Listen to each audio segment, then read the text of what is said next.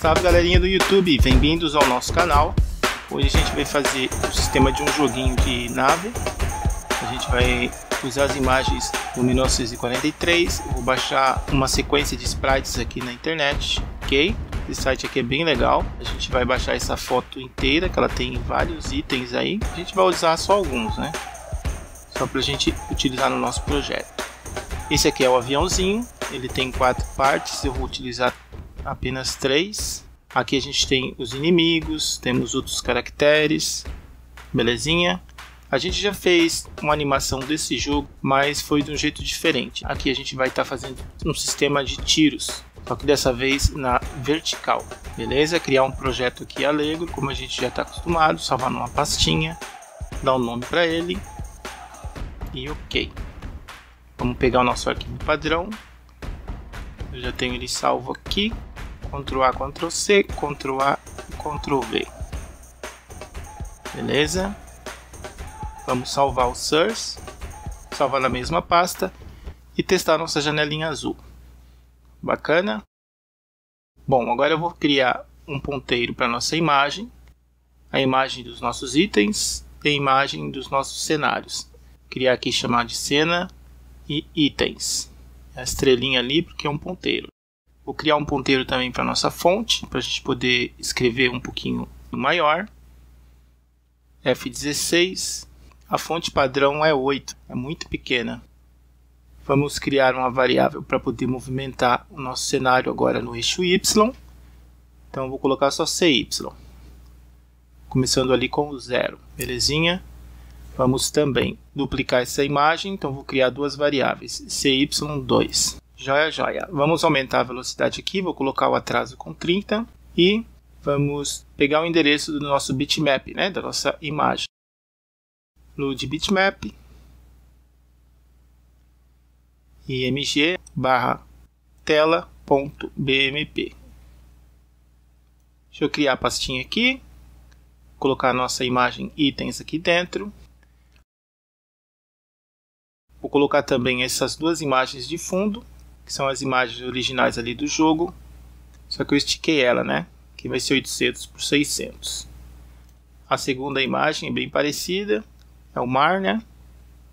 800 por 600.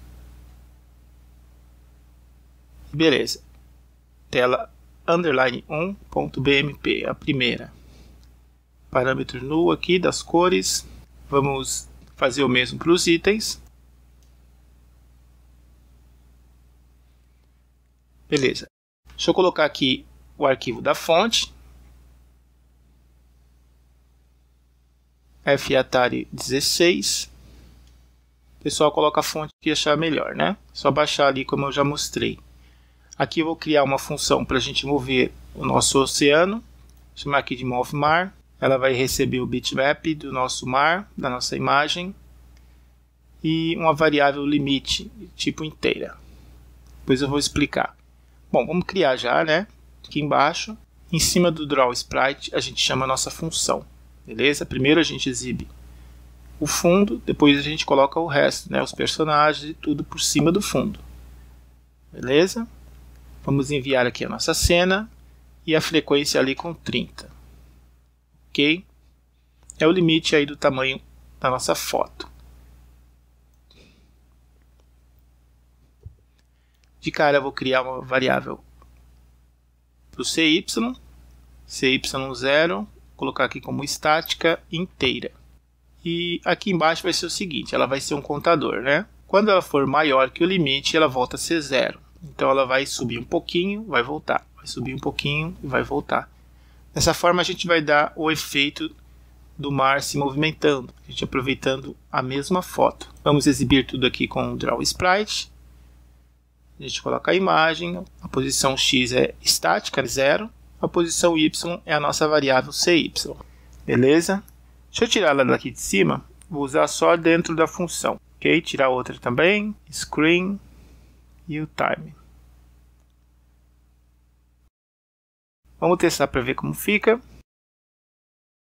Belezinha, tá aí o nosso mar se movimentando, se movimentando para baixo e voltando, se movimentando para baixo e voltando. Beleza? Agora a gente vai fazer o truquezinho, né? Nós vamos duplicar o Draw Sprite e vamos colocar a mesma imagem do limite para baixo, ou seja, o CY menos o limite. Dessa forma a gente sempre vai ter uma imagem. Isso vai dar um efeito de movimento. Beleza? Eu já fiz esse exemplo várias vezes aqui. Ó, beleza? Só que está dando pulinhos, né? Porque a gente tem que ajeitar aqui do tanto que ela vai poder se mexer, que é o limite. Vou colocar aqui em 40.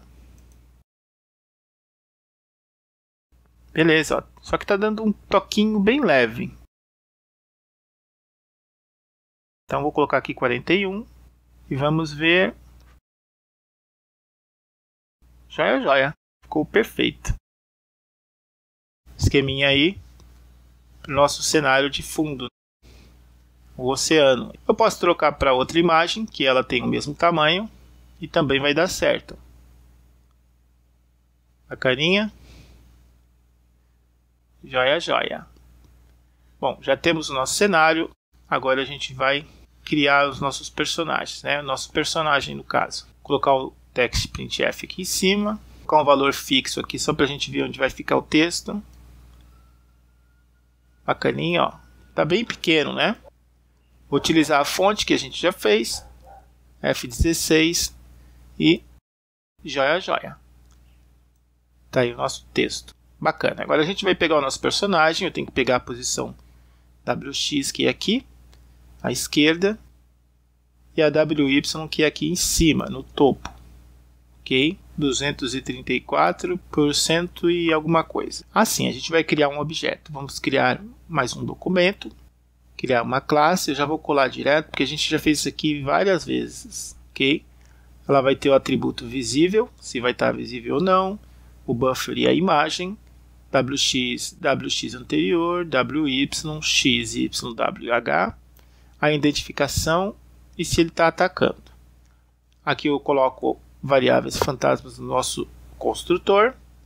A id já está iniciada com zero, não preciso chamar elas. Se eu quiser com zero, aqui eu estou repassando os valores, como a gente sempre faz, e colocando o ataque com zero. Visível vai ser sempre visível, a menos que a gente não queira. Imagem, buffer, Aqui embaixo a funçãozinha de show que vai exibir o personagem se o visível for verdadeiro. Beleza? Isso aqui a gente já decorou, né? Vou salvar aqui como ponto H, obj. E é isso aí. Voltamos aqui para nossa função principal. Vamos criar os nossos objetos, né? obj, dá um nome para ele, vou chamar de play, é um ponteiro. E beleza. Aqui eu tenho que incluir nosso arquivo, né? nosso obj.h. Ok. Agora eu tenho acesso a ele. Vamos criar o personagem aqui embaixo. Play igual a new obj 233, 101. Ele vai começar no tamanho da screen dividido por 2, ou seja, no meio por 200, ok?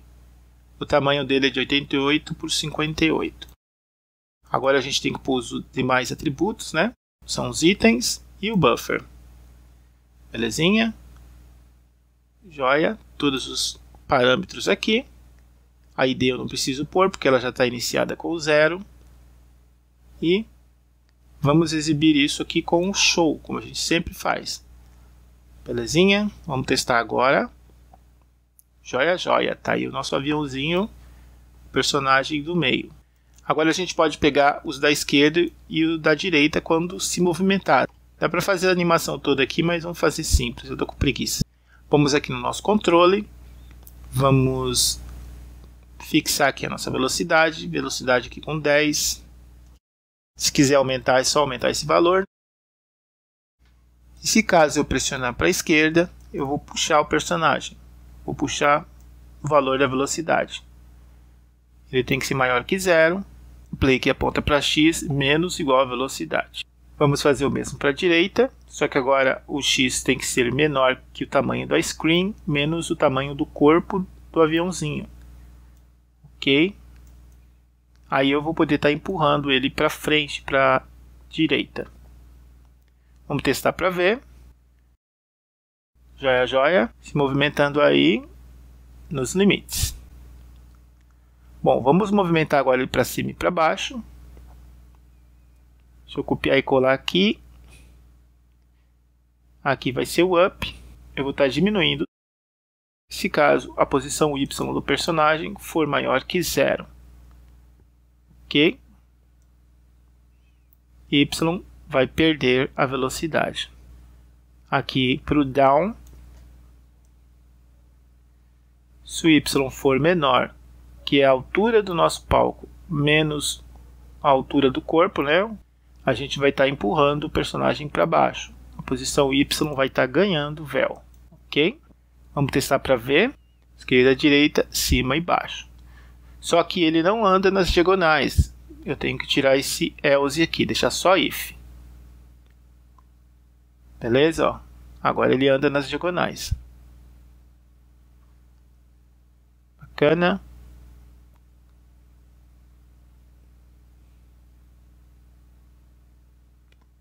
Joinha. Agora a gente vai fazer o personagem trocar de sprite quando ele for para a esquerda e quando ele for para a direita.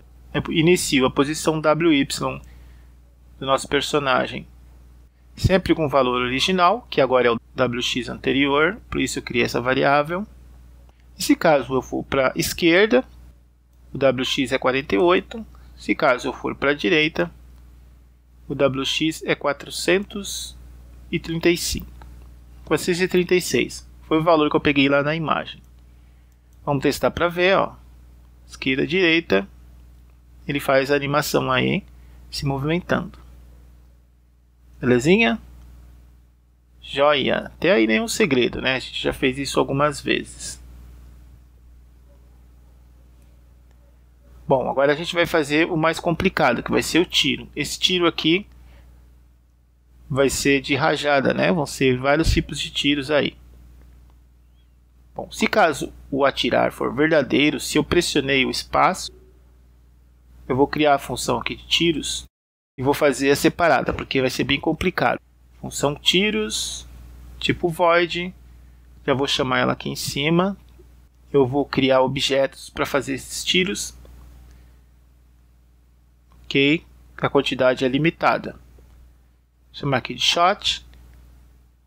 O, a quantidade vai ser o número máximo de tiros. Criar aqui uma constante, chamar de max shot. Então eu venho aqui no define, vou definir max shot igual a 4. O máximo vai ser 4 tiros por rajada aí. Beleza? Aqui a gente vai criar os objetos do tiro, são os shots. Eu peguei já a posição deles na foto. Enviando a imagem, enviando o buffer. E a ID número 1. Belezinha? Deixa eu mostrar aqui como é que é a imagem. Essas imagens aqui dos tiros. Eu tive que pintar o azul lá de rosa. O Allegro utiliza essa cor para dar transparência. Vamos aqui para a nossa função dos tiros. E eu vou pedir para exibir os nossos tiros. Vou exibir primeiro o zero, só para a gente ver se funciona. Aqui eu coloquei escondido, menos 200. Eu vou colocar em 200. Belezinha, apareceu ali. Vamos continuar. Eu vou fazer uma leitura ali pelo número máximo de tiros, são quatro, né? E aqui vai ser o seguinte. Se acaso a posição y desse tiro for igual à distância, deixa eu criar essa variável aqui, timevel igual a 35, a velocidade do tiro, e a distância vai ser igual menos o tamanho do tiro, qualquer um, né? Todos têm o mesmo tamanho. Beleza, então quando a posição Y for um pouquinho para cima, fora do palco, né? Quando o comprimento do corpo dele todo passar, eu vou fazer alguma coisa aqui. Deixa eu voltar aqui o tiro para menos 200, né? Vamos escondê-lo, senão o tiro vai começar bem no meio da tela. Então aqui vai ser o seguinte, né? Se caso o tiro estiver visível ou ele estiver dentro do palco, a gente vai poder exibir ele ali com o show. Eu também vou estar tá empurrando ele para cima pelo valor da velocidade menos o time fell e vou passar a visibilidade dele para verdadeira. Ele vai estar tá visível, ele está no palco. Beleza? Caso não, a gente passa a visibilidade dele para falso. Ele não está mais visível, economiza processo. Vamos aqui no atirar. O atirar agora é verdadeiro. Então ali em cima ele vai se movimentar, mas primeiro ele tem que estar tá iniciado. Eu vou criar uma variável estática aqui, que vai ser o registro ali do shot, começando com zero. Deixa eu colar o código todo aqui, só vou explicar que é melhor. Se caso a posição y do nosso tiro for menor que a distância, ou seja, ele está dentro do palco, né? E a posição y do nosso tiro for menor que a posição y da nossa nave mais a distância, ou seja, eu quero que o tiro apareça quando o próximo tiro já estiver um pouco longe. Senão vão aparecer um em cima do outro. Aqui embaixo eu verifico se a travinha é falsa, ok? O tiro subiu um pouco e vai poder sair outro. E se a posição do último tiro ela é maior que a posição y da nossa nave mais a distância. Ou se for o primeiro, né? Shot menos 1. Se isso aconteceu, a gente vai poder atirar. A gente tem espaço para o tiro subir.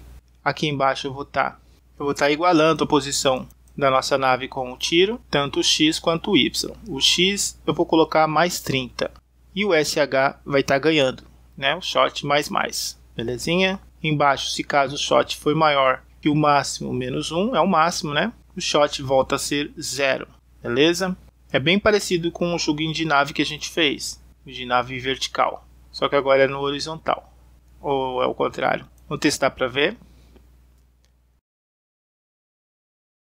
Joia, joia. Funcionando. Eu estou mandando rajadas de 4 em 4 tiros. E ele só vai atirar quando der a distância. Dá pra ver que tem a distância ali, né? A velocidade aqui é 35. Eu vou diminuir a velocidade para a gente ver melhor. Ele dá rajadas de 4 tiros. Já é o suficiente, né? Senão vai ficar muita bala na tela. É isso aí.